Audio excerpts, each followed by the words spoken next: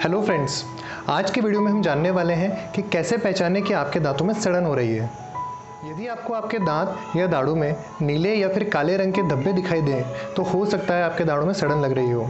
और यदि आपके दांतों में खाना फंसता हो तो ये एक इंपॉर्टेंट साइन है कि दांतों में सड़न लग रही है। जैसे कि मैं आपको बता चुका हूँ कि शुरुआती स्टेजेस में दांतों में दर्द नहीं होता है। इसीलिए पेशेंट्स ज़्यादा सतर्क नहीं होते हैं। लेकिन यदि शुरुआती स्टेजेस में ही फिलिंग करा ली जाए तो ये आपके लिए ज़्यादा फ़ायदेमंद है, क्योंकि शुरुआती स्टेज में दांत का ज़्यादा नुकसान नहीं होता है। यदि आपके दांतों में खाना फंसता है और ठंडा या गर्म पानी पीने से या फिर मीठा खाने से तेज़ दर्द होता है, लेकिन वो कुछ देर में अपने आप ही बंद हो जाता है तो समझ लीजिए कि आप सड़न के दूसरे स्टेज में हैं। अभी भी ये मुमकिन है कि सिर्फ़ दांत में फिलिंग करा लेने से ही ये एकदम ठीक हो जाए। लेकिन यदि ऐसी स्थिति में आपने सिर्फ़ टैबलेट खाकर या इसे टाल कर सड़न को अगली स्टेज में जाने दे दिया तो आप पहुँच जाएँगे स्टेज नंबर थ्री में। तीसरी स्टेज में पेशेंट्स को बहुत ज़ोरदार दर्द होता है और ये लगातार बना रहता है।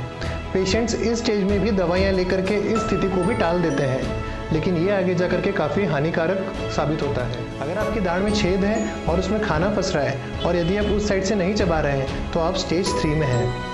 दोस्तों, अब केवल फिलिंग से काम नहीं चलता। अब ऐसे दांत या दाढ़ को बचाने के लिए आपको रूट कैनाल ट्रीटमेंट कराना ज़रूरी है।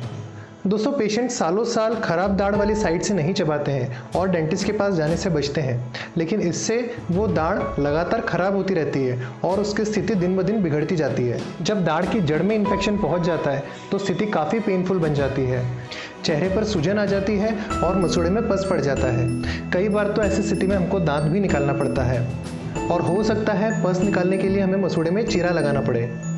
तो दोस्तों, इसीलिए यदि हम दांतों की सड़न को शुरुआत में ही पहचान करके उसका इलाज करवा लें तो ना सिर्फ़ ये आपके दांत के लिए अच्छा है, बल्कि इसमें दर्द भी बिल्कुल नहीं होता है और खर्च भी ज़्यादा नहीं आता है। जितना लेट आप करते जाएँगे, दर्द भी उतना ही बढ़ता जाएगा और ट्रीटमेंट का कॉस्ट भी।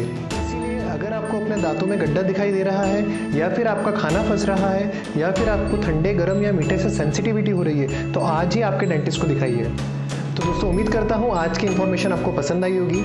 अगले वीडियो में हम जानेंगे कि दांतों में फिलिंग कैसे होती है और रूट कैनाल क्या होता है।